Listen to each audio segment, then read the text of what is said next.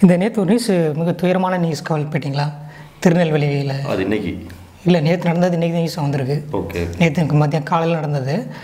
பள்ளி மாணவர்கள் வந்து இன்டர்வல் பீரியடில் வெளியே போயிருக்காங்க. அந்த பாத்ரூமோட சுற்றுச்சுவர் இடிஞ்சு விழுந்து மூணு மூணு மாணவர்கள் பலியாக இருக்காங்க. அதில் நான்கு பேர் வந்து ஹாஸ்பிட்டல் அட்மிட் ஆகி பார்த்துட்டு இருக்காங்க.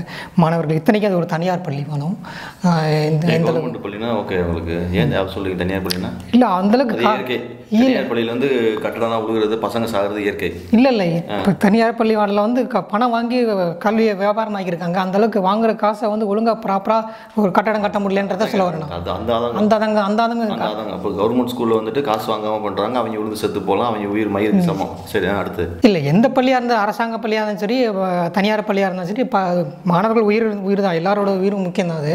நான் அதை சொல்ல அது தனிப்பட்ட கருத்து நான் அதை சொல்ல வரல. ஒரு பள்ளி மாணவர்கள் வந்து படிக்க வர்ற இடத்துல வந்து ஒரு ஒரு பாதுகாப்பு இல்லாமல் சூழ்நிலை இருக்கே அதை பற்றி என்ன நினைக்கிறீங்கன்ற? அதுதான் என்னோட கேள்வி.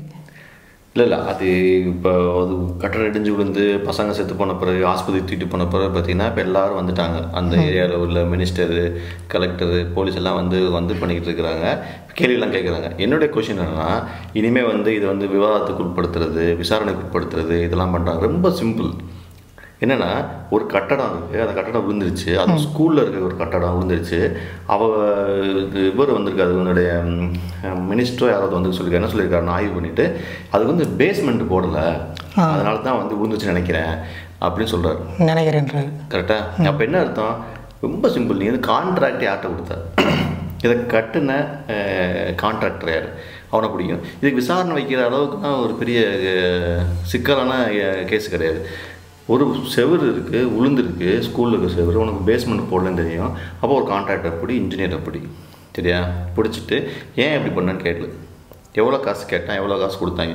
நமக்கு தெரிஞ்சது தான் இந்த நாட்டில் நடக்கிற என்னது? கமிஷன் லஞ்சம் ஊழல். இதான் நடந்துகிட்டு இருக்கும்.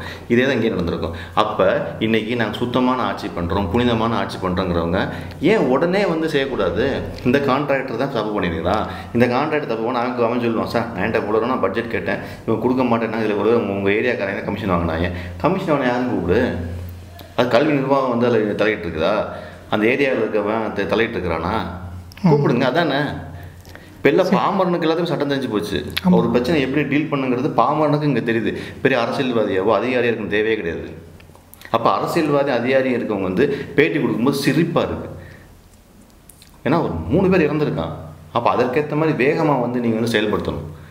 ஸோ இந்த வீடியோ மூலம் என்ன சொல்ல வரோம் அப்படின்னா இந்த மாதிரி ஒரு சாதாரண விஷயத்தை கூட உங்களால் வந்து இன்வெஸ்டிகேட் பண்ணி க்ளோஸ் பண்ண முடியல. நான் வந்து விசாரணை கொடுவேன் ஜட்ஜ்மெண்ட் கொடுவேன் அப்படின்னீங்கன்னா நீங்கள் எவ்வளோ பெரிய கேஸ்லாம் பண்ண போகிறீங்க இது ஒரு மாணவரின் உயிர். மாணவரின் உயிர் எவ்வளோ பெரிய விஷயம்? அதாவது ஆறாம் கிளாஸ் படிக்கிறான் எட்டாம் கிளாஸ் படிக்கிற ஒன்பதாம் கிளாஸ் படிக்கிற ஒரு இளம் வயது பசங்க இறந்து போகிறாங்க அநியாயமாக எந்த காரணமே இல்லாமல் அப்போ நீங்கள் எவ்வளோ வேகமாக வந்து இதை வந்து நீங்கள் செயல்படுத்தணும்? விசாரணையை. அதான் கான்ட்ராக்ட் யாரும் பிடிக்கும் யார் கமிஷன் வாங்கினா லஞ்சம் வாங்கினா? அப்படிங்கிறத வந்து எனக்கு தெரியல. அது பார்க்கும்போது இது எப்படி பாரு பார்க்குறதுல ஒரு அதான் அந்த அந்த மாதிரி ஒரு ஒரு இதில் தான் நம்ம இருக்கோம். அந்த மாதிரி நாட்டில் தான் வாழ்ந்துக்கிட்டு இருக்கிறோம் நம்ம. பழக்கம் போல டிவியில் வந்து நாங்கள் விசாரணை பண்ண போகிறோம் நாங்கள் விசாரணை என்ன விசாரணை பண்ண போகிற ஓகே. இதை பற்றி ரொம்ப ரொம்ப வருத்தமான விஷயம் இதை பற்றி வி- விவாதிக்கிறதுக்கு ஒன்றும் இல்லை. நீங்கள் ஷேர் பண்ணுங்க. அஹ் இந்த இது நிலைமை தெரியும். பாமரனை கூட தெரியுது. ஒரு ஒரு கேஸை வந்து எப்படி டீல் பண்ணணும் அப்படிங்கிறது. ஆனால் சட்டம் படித்த அதிகாரிகளுக்கோ மந்திரிகளுக்கோ தெரியலைங்கும் போது ரொம்ப வருத்தமாக இருக்குது. அந்த குடும்பத்துக்கு எங்களுடைய ஆழ்ந்த வருத்தங்கள்